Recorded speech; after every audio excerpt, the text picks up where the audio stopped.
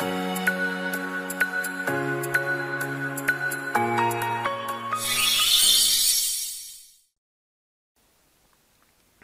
い。それでは11月25日の3問に入る前にアドバイスさせていただきます。本日は理解していただきたい部分が多いです。理解学習こそ合格するための勉強法です。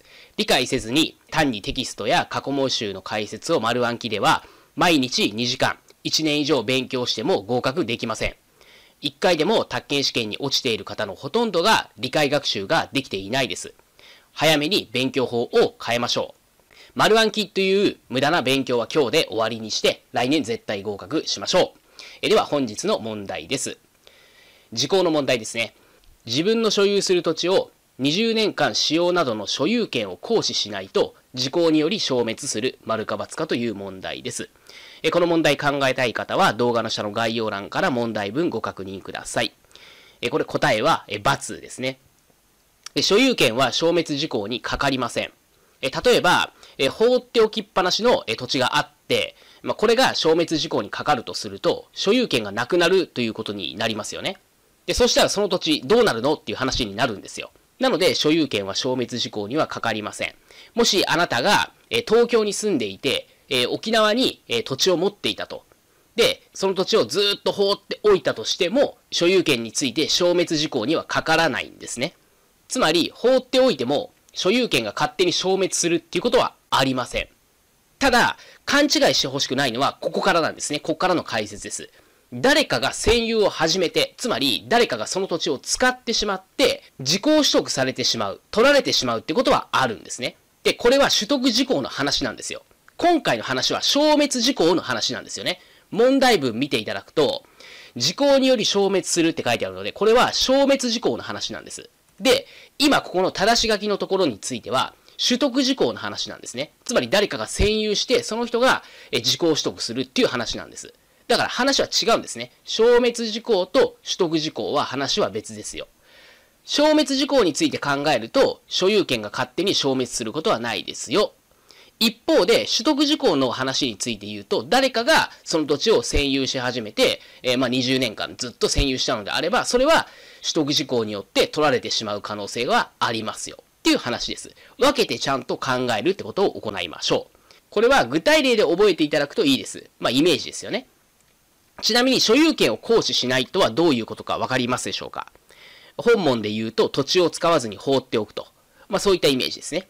まあ、難しい言葉も分かりやすい言葉に置き換えることができればイメージしやすいと思います。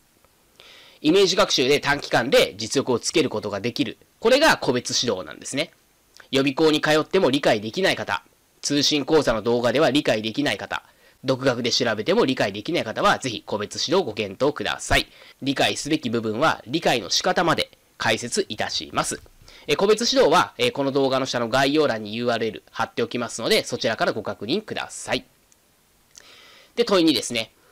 A が借金の返済に充てるため、自己所有の宅地を10区画に区画割りして、不特定多数のものに反復継続して売却する場合、A は免許を受ける必要はない、丸か×かという問題です。これは、えー、×ですね。免許を受ける必要があります。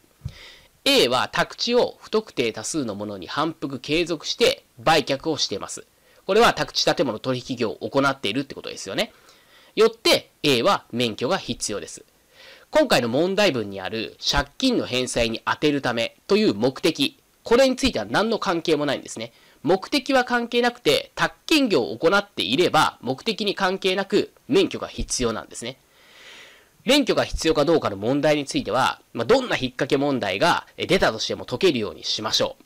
そのためには解き方、これをですね、理解する必要があります。解き方を覚える必要があります。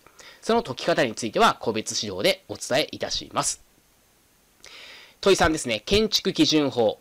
建築基準法の規定が適用された際、現に建物が立ち並んでいる幅員4メートル未満の道で、特定行政庁が指定したものについては、道路の境界線は現在の道路の境界線とみなされる丸か×かという問題です。これ答え×なんですけど、これ非常に内容を理解しづらい内容なんですね。で、これ言葉にするとですね、本文は道路の境界線は現在の道路の境界線とみなされる。まあ、ここが誤りなんですよ。境界線はどこかというと、道路の中心線からの水平距離が2メートル。この部分の線が道路の境界線とみなされるんですね。これセットバックって言うんですけども、これ文字にするとですね、すごくわかりづらいんですね。なので、え別途、え動画にいたしました。この問題の内容だけじゃなくて、関連ポイントも合わせて解説しております。まあ、このように関連ポイントも一緒に勉強する勉強法。まあ、これ、つなげる学習って言ってるんですけども、これも効率的な勉強の一つなので、ぜひですね、行っていきましょう。で、別途動画については、この動画の下の概要欄の方に URL 貼っておきますので、そちらからご確認ください。で、今回お伝えをした解説は、無料解説になります。宅建合格に必要な関連ポイント、理由付け、具体例、こういった理解学習については、無料解説ではなくて、個別指導で解説させていただきます。もしあなたが宅建合格を目指しているというのであれば、私はあなたと勉強がしたいです。個別指導がどういったものなのか、これについてはこの動画の下の概要欄に URL を貼っておきますので、ぜひご覧ください。で、勉強の仕方だったりとか勉強時間の作り方、これについてお悩みを抱えているというのであれば、お気軽に私に直接メールしていただければと思います。で私のメールアドレスについては、この動画の下の概要欄に合わせて記載しておきますので、メールしていただければと思います。私に直接届きますので、ご安心いただければと思います。次の試験であなたに合格していただきたいと思っておりますので、一緒に勉強できたら嬉しいです。宅建合格目指して一緒に頑張っていきましょう